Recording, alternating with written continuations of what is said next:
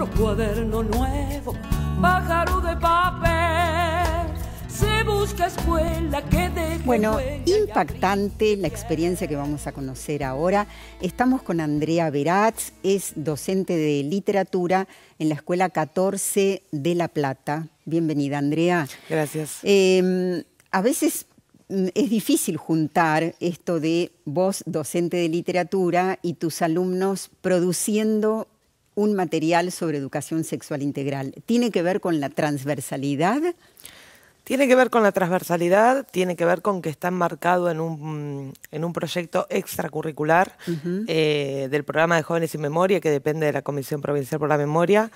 eh, y lo que los chicos eh, trabajaron durante todo el año, o sea, realizaron un trabajo de investigación sobre un derecho que ellos sintieran que se les estaba vulnerando. En el caso de, mm, de los chicos, eh, ellos lo que, lo que pudieron percibir era que la ley de educación sexual integral no se estaba aplicando eh, en su totalidad de esta manera que vos mencionaste antes. con Estamos la hablando de chicos, perdón, ¿de Sí. qué año? En realidad, como es un proyecto extracurricular, eh, había chicos de cuarto año, quinto año y sexto año de la secundaria.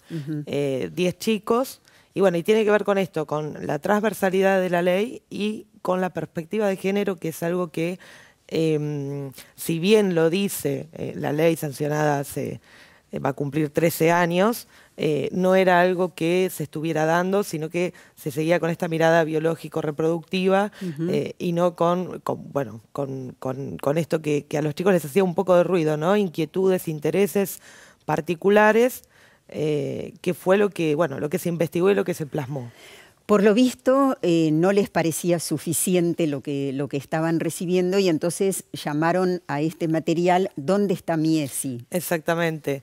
Eh, no les parecía suficiente porque las dudas que tienen hoy los chicos, los intereses, eh, las problemáticas o temáticas que quieren trabajar, quizás a los adultos, a los docentes, no se nos presentan o no nos hace el mismo ruido que a ellos. Entonces, está bueno que, que- que los chicos puedan producir conocimiento con un adulto dentro de la escuela en términos de que también habiten la escuela de otra manera, ¿no? O sea, es apropiarse un poco, eh, no solamente del espacio físico de la escuela como, como un edificio, sino de esto de la producción de subjetividad que puede tener el ámbito escolar.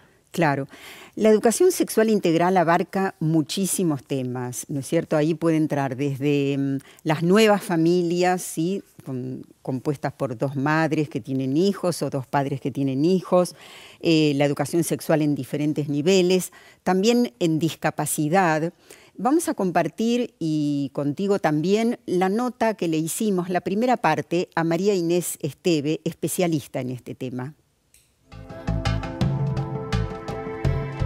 En Argentina desde el año 2006 tenemos la ley 26.150 que considera la educación sexual, a la sexualidad eh, con una mirada integral. Esto es tomando los aspectos físicos, biológicos, psicológicos, afectivos, éticos, eh, y que considera a los niños, niñas y adolescentes sujetos de derecho y en tanto sujetos de derecho tienen derecho a una educación sexual y justamente incorpora la educación sexual a todas las modalidades y en todos los niveles de enseñanza, con lo cual toma también, justamente porque es una ley muy abarcadora, la educación especial. Desde ese lugar es que niños, niñas y adolescentes con discapacidad son mirados como sujetos de derecho y con- como sujetos de derecho en el aprendizaje de la educación sexual. La ESI, la, la- educación sexual integral, brinda herramientas para poder vivir su cuerpo, los cambios, las relaciones interpersonales y el conocimiento de los derechos que los, los acogen este, de una manera privilegiada.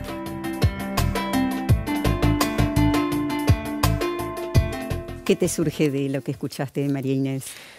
Em, lo que me surge es esto, ¿no? Em, escuché la palabra sujetos de derecho, eh, que sí, que me parece que bueno, que fue para, para donde iban, donde iban mis alumnos, esto de eh, sentirse parte de una sociedad y sentirse parte en términos de eh, reclamar lo que ellos creían como sujetos de derecho que debían recibir y que verdaderamente es así porque hay una ley. Y esto que planteaba desde el ámbito de, de, la, de la educación con, Eh,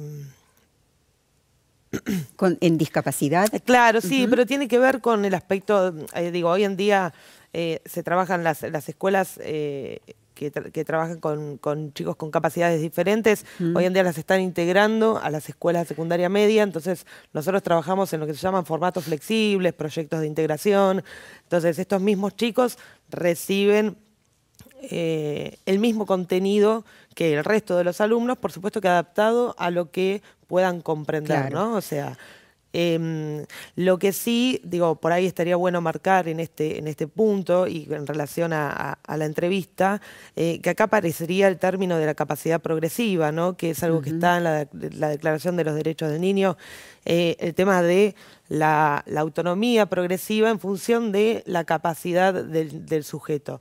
Em, digo, me parece que es un concepto importante en función de, bueno, después eh, las expresiones a favor y en contra y, ese tipo de cuestiones, eh, desde el marco más regulatorio en términos legales, eh, me parece que, capacidades progresivas encaja a la perfección con, la entrevista.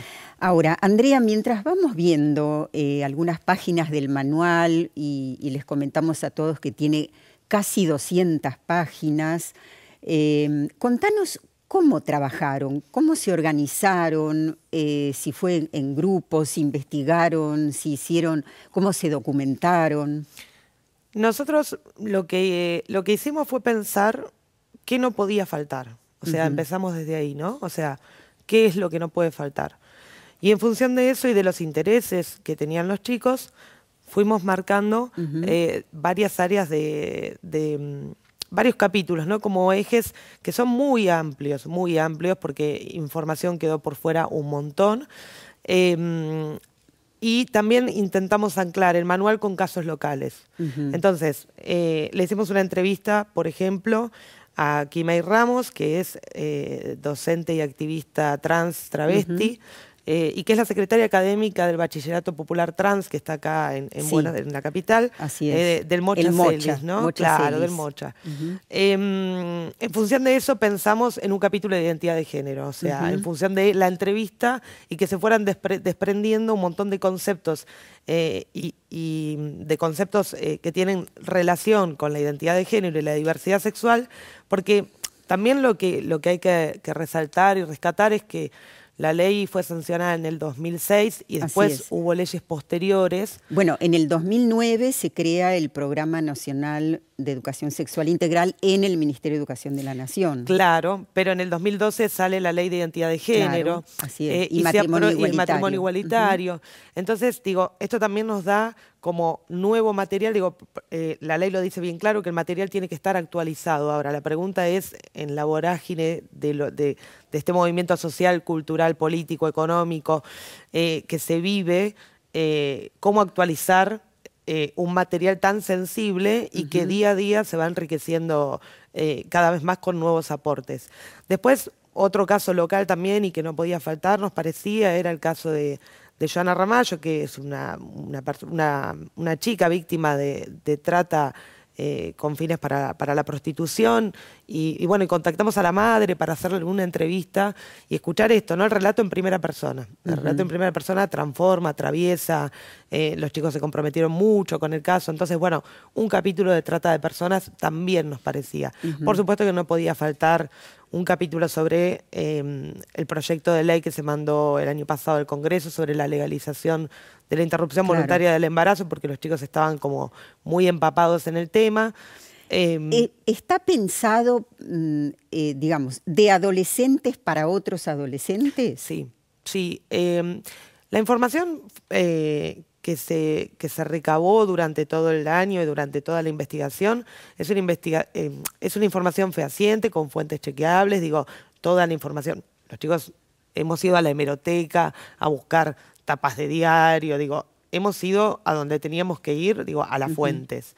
Pero después el material volcado en el libro tiene la dinámica de lo que quiere el adolescente.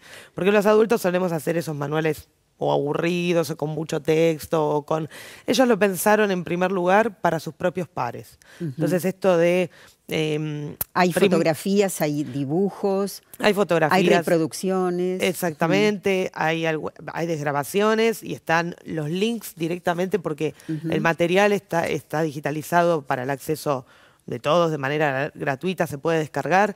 Entonces uno al poner eh, algún, al desgrabar alguna entrevista y poner abajo el link directo de acceso, los chicos con la tecnología hoy en día en el mismo celular los, redirecciona a la entrevista completa, digo, ¿no? Esto de poner algo que llamara la atención como para que fueran a ver la entrevista completa. Andrea, bueno, vos te quedás, nos vas a poder seguir contando, te vamos a seguir eh, preguntando, eh, pero me parece que no puedo dejar de elogiar tu trabajo y tu compromiso en esto y tu acompañamiento porque esto, por lo que vos contás, también se hizo fuera de horas de clase eh, y era imprescindible la presencia de un adulto en un proyecto de este tipo. Se queda con nosotros Andrea Beratz y nosotros vamos entonces después al encuentro de César Asaki y Liliana Maltz.